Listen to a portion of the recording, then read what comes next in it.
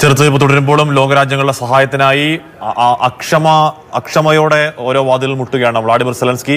ഏറ്റവും കൂടുതൽ പ്രധാനമന്ത്രി നരേന്ദ്രമോദിയുമായി ഫോണിൽ സംസാരിച്ചിരിക്കുന്നതാണ് അറിയാൻ കഴിയുന്നത്. രാജേഷ് ഗോഖലാണ് വിവരങ്ങളുമായി ചേരുന്നത് രാജേഷ് എന്താണ് സെലൻസ്കി മോദിയോട് ആവശ്യപ്പെട്ടത്? എന്തായിരുന്നു ഇന്ത്യയുടെ മറുപടി? രാജേഷ്. നയതന്ത്ര തലത്തിൽ സുപ്രധാന നീക്കമാണ് ഇപ്പോൾ ഉക്രൈൻ പ്രസിഡന്റ് വ്ളാഡിമിർ സെലൻസ്കിയുടെ ഭാഗത്തു നിന്നും ഉണ്ടായിരിക്കുന്നത് റഷ്യയുടെ പ്രധാനപ്പെട്ട ഒരു പ്രതിരോധ പങ്കാളിയായ ഇന്ത്യയുടെ സഹായമാണ് ഇപ്പോൾ ഈ വിഷയത്തിൽ ഈ സംഘർഷവുമായി ബന്ധപ്പെട്ട് ഇപ്പോൾ ഉക്രൈൻ തേടിയിരിക്കുന്നത്. പ്രധാനമന്ത്രി നരേന്ദ്രമോദിയുമായി സെലൻസ്കി ടെലഫോണിൽ വിളിച്ചാണ് ഇത്തരത്തിൽ ചർച്ച നടത്തിയിരിക്കുന്നത്. ഉക്രൈനിലെ സ്ഥിതിഗതികൾ മോദിയെ സെലൻസ്കി അറിയിച്ചു. രാഷ്ട്രീയ പിന്തുണ അദ്ദേഹം ആവശ്യപ്പെടുകയും ചെയ്തു.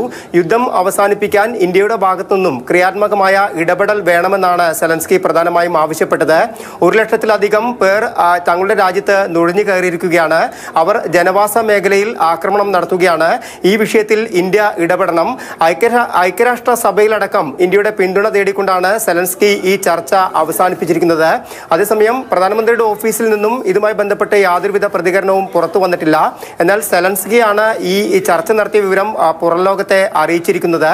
നേരത്തെ ഉക്രൈന്റെ ഇന്ത്യയിലെ സ്ഥാനപതിയായ ഐഗർ പുലിക അദ്ദേഹവും ഇന്ത്യയുടെ ഇടപെടൽ ആവശ്യപ്പെട്ടിരുന്നു. അതിൽ എടുത്തു പറഞ്ഞ പ്രധാനപ്പെട്ട കാര്യമെന്ന് പറഞ്ഞാൽ റഷ്യയുമായി മികച്ച ബന്ധം പുലർത്തുന്ന ഒരു രാജ്യമാണ് ഇന്ത്യ. ഇന്ത്യയുടെ ഇടപെടൽ ഒരുപക്ഷെ ഈ സംഘർഷം ലഘൂകരിക്കാൻ കഴിഞ്ഞേക്കും എന്നൊരു ആത്മവിശ്വാസം ഉക്രൈനിലെ പല രാഷ്ട്രീയ നേതാക്കളും അധികാരികളും പ്രകടിപ്പിച്ചിരുന്നു.